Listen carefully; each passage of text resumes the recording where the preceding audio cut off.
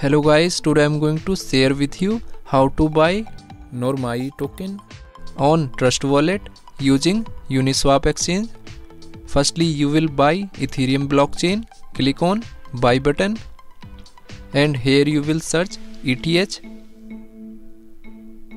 Click on Ethereum. Now here you can buy minimum $50 ETH using Binance Connect or you can receive ETH using contract address click on Ethereum then click on receive.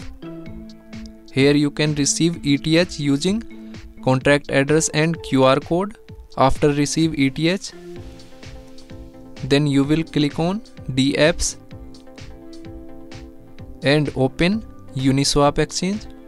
Click on Uniswap exchange after that you will connect Uniswap exchange from Trust Wallet. Click on Connect Wallet. Then click on Wallet Connect. Then click on Connect. And finally click on Connect. So Uniswap exchange has been successfully connected from Trust Wallet. Now you will click on Select Token. After that you will copy Normie token smart address and you will open Normie token on coin market cap now here you will copy this address and paste here. Then you will click on this token. Click on I understand. After that you will set slippage for effective purchasing.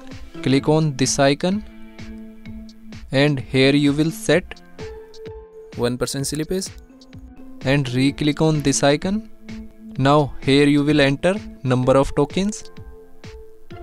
Then click on swap. Here you can check transaction detail. Then click on confirm swap.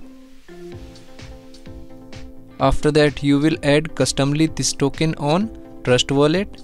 Go to trust wallet then click on search icon. Then click on add custom token. After that you will check token network. Token network is ethereum. It is good. Then click on paste. Now here Normie token is showing. Then click on save. After that you will go to trust wallet homepage. Now here this token has been added successfully on Trust Wallet. Thanks for watching.